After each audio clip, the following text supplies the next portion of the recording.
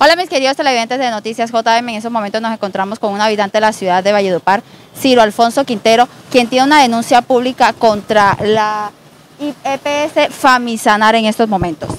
Eh, muy buenas tardes, señora, señorita periodista. Mire, la, la, denuncia es la siguiente. El mes pasado, una funcionaria de Famisanar se le acerca a mi esposa y le dice, le brinda información para que se pase para la se traslade a la EPS de donde ella está. Ella le dice que no, que donde estamos estamos bien, le recalca una y otra vez que no nos queremos trasladar. Lo mismo otra compañera de trabajo que estaba con ella y que está embarazada. Resulta de que ayer, 30, el día 31, lunes, yo voy a una cita a Salud Total a reclamar un medicamento que tengo con el otorrinolaringólogo por problemas que tengo una operación en la nariz. Y resulta de que me trasladan de EPS. ¿Por qué? Si nosotros no hemos pedido traslado, averiguamos, estamos acá de este lado. Resulta que una señorita, la señorita se llama se llama María Alejandra Calderón Arias, que fue la que le brindó la información a mi esposa y le dijo que le firmara un...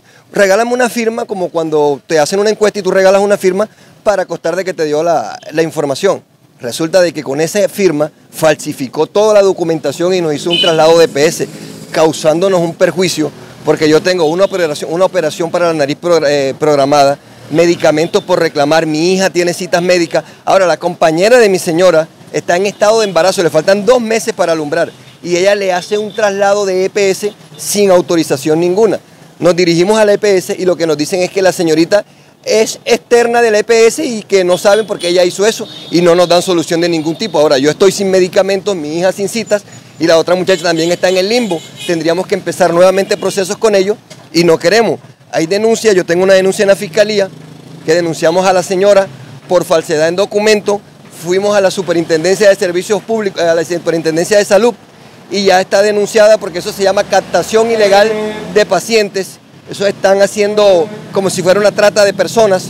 Nos tocó radicar un derecho de petición para que nos puedan dar el documento donde mi, señora firmó el traslado, porque solo nos los muestran, pero no nos los entregan. Y ya mi señora de lejos lo vio y le dijo, esa no es mi firma, falsificaron mi firma y esa no es mi letra, llenaron todo con letras distintas. Acabo de venir acá porque ahora la señora tiene una llamadera, una cosadera, y acá no dan ninguna respuesta. Lo único que dicen es que la bloqueé y no pasa nada, que tengo que esperar ahora un año para que ellos me trasladen y los, tratamientos que yo tengo, las medicinas, ¿quién me las da? Ahora, ¿cómo hago?